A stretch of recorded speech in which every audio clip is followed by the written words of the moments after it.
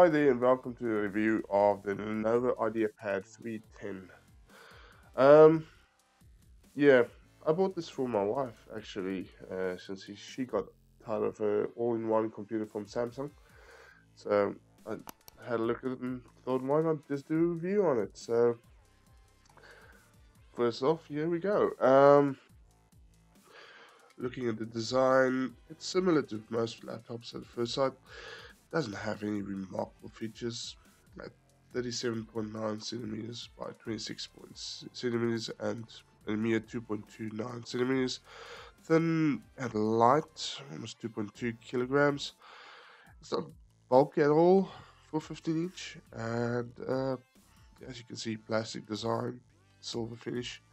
The construction doesn't provide much in terms of uh, perceived quality and also makes it not really apprehensive when you start using it because you're afraid of flicks and such. Uh, as you can see on side there you get your uh, legacy VGA port with RJ45 uh, LAN connector and HDMI 1.4 port uh, for output to video uh, device monitor, TV, or even under monitor. Uh, the only USB 3 uh, port on this uh, laptop. Uh, a TRRS combined headset microphone port for headsets with uh, microphones. Um, so you might need an adapter if you have uh, separate headsets to your microphone.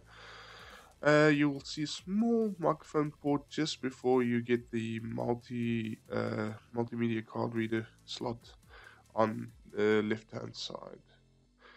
Moving on to the right hand side, you will find two USB 2 ports um, and one DVD rewrite drive, uh, optical drive, with the Kensington slot uh, on the side. Uh, on the back, you will see nothing in terms of uh, I/O or ports, and as you can see on the front, the front-facing speakers fire forward, and they are Dolby rated. When opening the laptop, you will see it flexes a bit, so because it's so thin.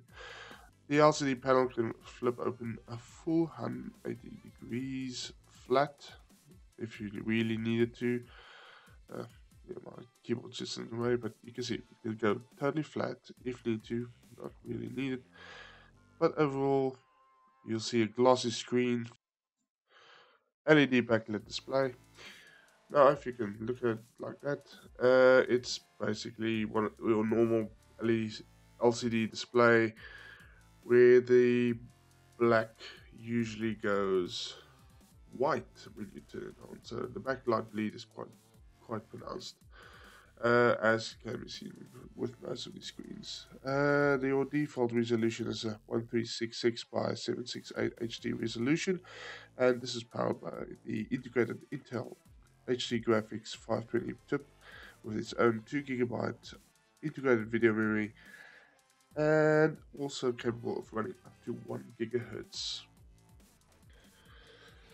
Coming back to the front phone speakers, um, these are Dolby rated, um, small, tiny, very tinny at the top end.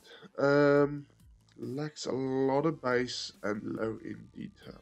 Uh, adequate for short-term use, but I would recommend getting some good quality earphones if you want to really enjoy listening to music or games. As seen, the full keyboard that's available has a numeric keypad on the right and is not backlit at all. The keys feel responsive and have small travel distance. And as you can see at the top, media keys have replaced the F1 to 12 keys where the if function is available by pressing the function modifier down left. This is quite abnormal to normal uh, keyboards because this keyboard is mainly focused to guys who use the media functions rather than having the functionality of the keyboard for their productivity apps. I do not personally like this and would rather have left it as standard. And also the lack of pause and scroll up function is quite weird. The key enter key looks like an old like uh, angled enter key from old uh, keyboards, but if you look closely, it's just a backslash key that's closely situated next to the enter on top of it. Uh, so doing fast typing, you might occasionally hit the backslash when pressing enter, so this is maybe not a great design decision.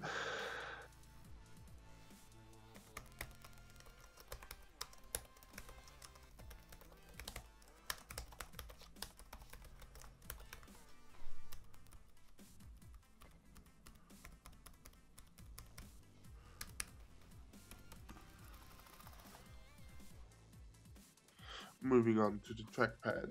This is a bone of contention with me. This trackpad is useless.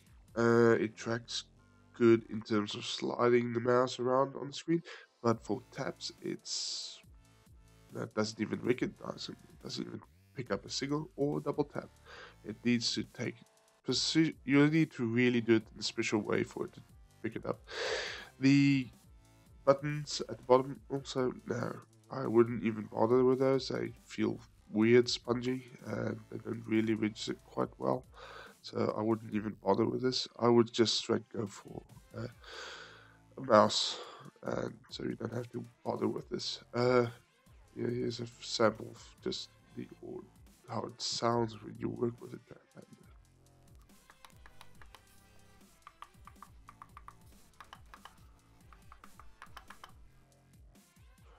Looking at the bottom of the laptop, you see there's two access ports, one for the hard drive and one for memory, I think. So let's have a look at and see what we can actually get access to. Now, if I have a look at the port here for accessing the basically, I think this is RAM here. Uh, if I could just open this up here. It's a quite tight fit, so be careful of not losing your screws. You will see underneath this is your Wi-Fi extension card for Bluetooth and Wi-Fi, your heat pipe for your CPU cooling solution, and one DIMM. Uh, this is DDR4. So if I take this out, you'll see, let's see, see there's four gigabytes of solid memory on the motherboard, and this is an 8 gigabyte memory module. So this is 12 gigabytes in total. So you have upgradability uh, above the standard 4 if you put in a DDR4 SODIMM. So I would say maximum 20 gigs would be possible with a 16 gig SODIMM. And then moving on to the hard drive case, uh, I expect this only to be a normal standard two and a half inch drive so if I can get this open. Uh, quite, uh, tight. Uh, be careful just not losing screws. The hard drive comes in the tray, uh, tra tray. You just lift it out and pull out like so. The Western Digital 1 terabyte that's in there so easily swap this out for an SSD, maybe 2 to 2, 4 terabytes. I don't know what's available, say SATA. So easily upgradable if you need faster uh, storage. So coming to system specs. What we have here is a 15.6 inch LCD backlit 1366 by 768 HD monitor display um, with an Intel Skylake i5-6200U processor with integrated Intel HD graphics 520 and 2GB B, uh, VRAM on board.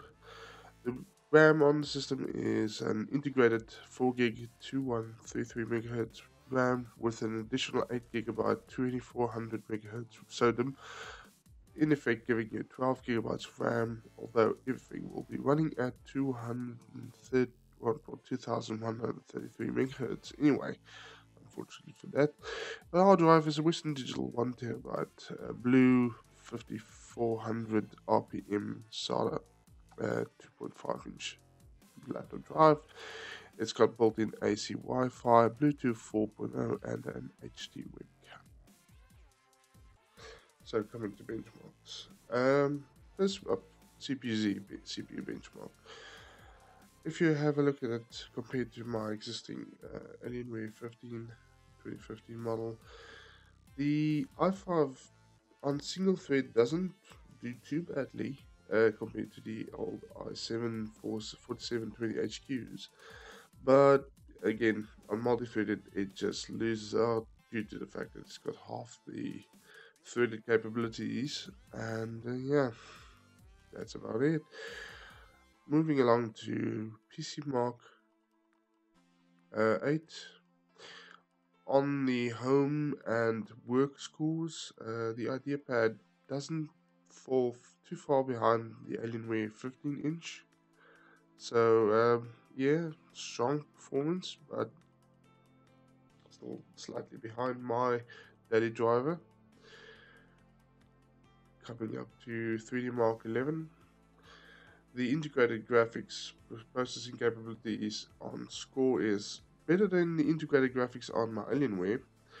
If you could compare the HD graphics 4600 to the 5200, 52 or 520, uh, the 520 is definitely much better, although the GTX 970M just blows them all out of the water. CPU performance is, well, for, for the physics score, so, so you can see the i7 does score better than the i5. 3D Mark Cloudgate. Again, the graphics score is better than the integrated graphics on my Alienware. And dedicated graphics uh, from 970m is just does much better. Coming to Skydiver, Skydiver performance again is stronger than the integrated graphics on the Alienware. You can definitely see the Skylake uh, generation I iGPUs are better than uh, Max or Haswell uh, 4600 and such uh, graphics processors. So I, I would say this is going to be the same issue for all tests going forward. Um, looking at Firestrike, Firestrike shows the same, definitely better, slightly better performance. And yes, since this is a DX12 compatible iGPU, TimeSpy is a score. We do have a score for TimeSpy my integrated graphics on the Alienware couldn't even uh, couldn't get it working, so there's no score for the iGPU on the Alienware. Although you can see the 970M didn't do too badly, although it was a stuttering mess on DX12.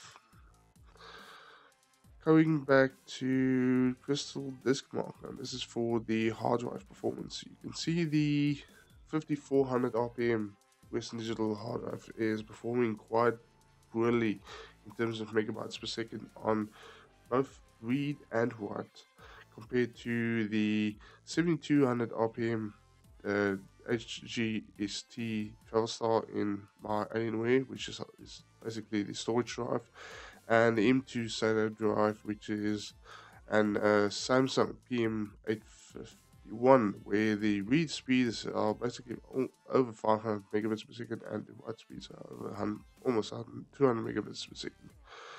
So overall, performance is not too bad for the entry-level performance uh, laptop. Now, heat and noise on this laptop is not bad. Overall, it never got hot on my lap. Not as hot as my Alienware 15 gets when it's in, tilt. This is not bad at all. I can live with it. For long uses, it's quite good. And the loudest I've measured it on my cell phone was 62 decibels at max when its fan span, uh, spun up for some calculations. The power adapter is a 40 watt brick, power brick, although it's one of those with where the power brick is integrated into the plug. So it's a little bit of a problem when you have to use it for portability purposes. Uh, I would have loved the brick itself to be away from the plug and not on the plug so it doesn't have to sit on the wall uh, that heavy part so bad design in my books the battery is a two cell about five hour rated uh, lithium polyion uh, polymer uh, battery although windows rates at about two and a half hours on balance mode when you take it off battery uh, off the power so I wouldn't expect to use it more than two hours on average. All in all, not a bad laptop. You do get what you pay for. It is cheap. It is. It's not going to be a power. It's not a gaming laptop. Forget about it. But it's a good workhorse. You can do a lot of work in terms of office productivity. My wife is going to use it for Adobe um, Illustrator and After Effects for training, uh, training document, uh, training materials she's building light gaming. Even the integrated graphics is quite fast, faster than the integrated graphics on my Alienware. So and it's even DX12 compatible, so you can do light gaming, definitely. But overall, this is a good laptop in terms of if you want something that you can just use for daily use, nothing major, nothing special, all good. But for anything beyond that, forget about it. It's worthless. Plastic, it's as good as it's going to be. It's got a one year warranty. Don't expect it to live beyond that anyway. If you can upgrade it, it might last a bit longer, but I wouldn't expect this thing to be worth much in more than two years, let alone one year. So yeah, that's my review of the Lenovo IdeaPad 31, well 3010. I hope you enjoyed it. Um, give me a like or dislike and give me some uh, feedback on what you think of my full reviews for for laptop. This would this is my first, so I'm trying to use this as the rule ruler for most of my uh, following laptop reviews. And also, um, please subscribe uh, if you like this video. Subscribe. More will come eventually. And yes, donations is, is uh, really appreciated. If you want to become a patron, all means, I've got a patron page. There's a link you can click to become a patron to support us, get better, give you some better content in the future. And yeah, hope to see you soon. Enjoy. See you later. Get in.